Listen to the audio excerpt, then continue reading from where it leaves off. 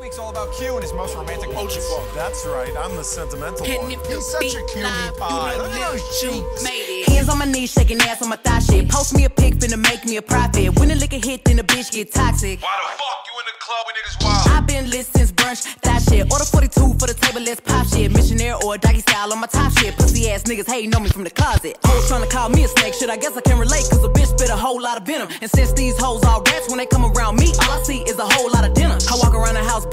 I stop at air mirror just to stare at my own posterior. I don't give a fuck who talk behind my back, cause the bitch knew better than to let me hear. Hands on my knees, shaking ass on my thigh shit. Hands on my knees, shaking ass on my thigh shit. Hands on my knees, shaking ass on my thigh shit. Hands on my knees, hands on my knees, hands on my knees, shaking ass on my thigh shit. Hands on my knees, shaking ass on my thigh shit. Hands on my knees, shaking ass on my thigh shit. Hands on my knees, hands on my knees. Hoes said they wish a bitch would, and I'm a genie. Bitch so hot, gotta stay in but he keep begging to see me. I love it when a nigga got a mouth full of VVS. No, I'm not a patient, but I let him treat me. I gotta be a doctor, how I'm ordering CCs. Go to your place, no face, no case. 99% tint in a blacked out Wraith.